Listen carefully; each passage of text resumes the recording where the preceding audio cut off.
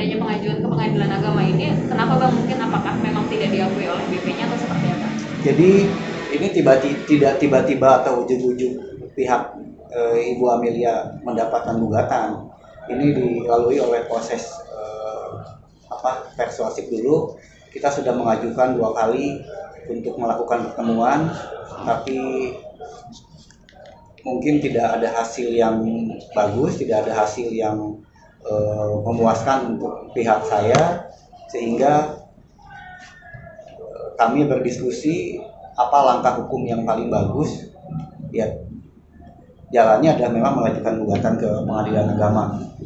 Sebelumnya mungkin diskusi seperti apa dengan BP-nya bang sampai akhirnya? Kita belum, karena pada saat panggilan pertama beliau tidak datang, terus kita juga undang yang kedua eh, ada tanggapan dari pihak sana cuman tanggapannya memang kita disuruh membuktikan apakah memang benar bahwa telah terjadi pernikahan. Kalau bukti sih kan kita seharusnya kita banyak bukti.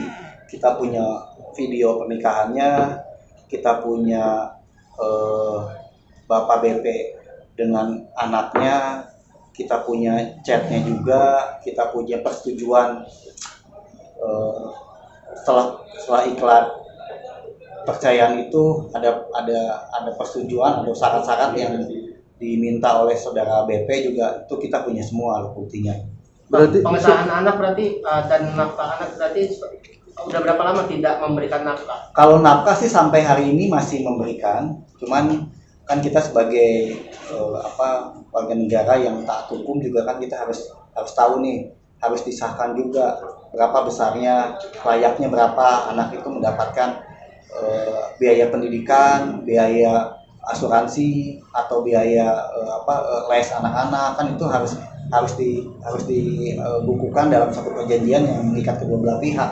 Karena mungkin bisa saja kita bukan bersuzon juga cuman mungkin bisa hari ini memberikan mungkin kan bulan depan juga kita tidak tahu kepastian tapi kalau sudah ada perjanjian yang mengikat kan mau tidak mau memang harus dipenuhi.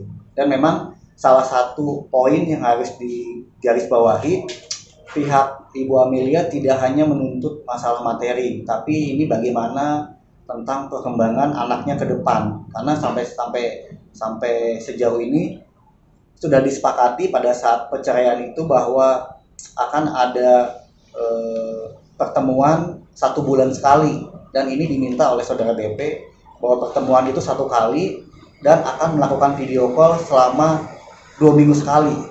Ibu Amelia waktu itu sudah menyetujui tapi ternyata kan tidak ada, tidak ada video call tidak ada, terus uh, apa uh, telepon juga tidak ada, jadi sama sekali tidak ada komunikasi sehingga anak itu mencari bapaknya ke mana gitu karena setiap ada di media dia tanya itu uh, nanyain gitu kasihan juga kan perkembangan psikologis anak. Alasan bercerainya mungkin apa sih bang? Saya tidak tahu pasti, tapi memang percayanya sih kemarin mungkin dengan baik-baik ya. Kapan? Bang ini kan pernikahan siri bang. Ngomong uh, mengenai soal pengesahan soal anak, haruskah pernikahan siri ini disebarkan dulu bang? Baru uh, supaya mendapatkan jadi uh, jadi gini mungkin bang? mungkin gini.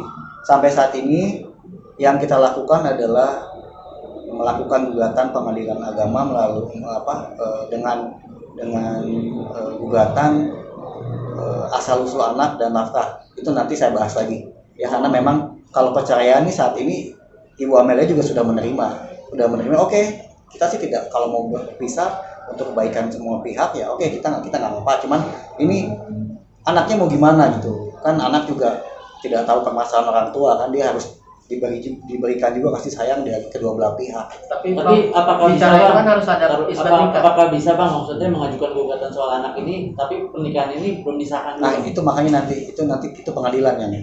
Bukannya saya tidak paham tentang isbat, saya juga paham juga. Cuman nanti pengadilan yang yang akan memutuskan bagaimana baiknya terhadap kasus ini.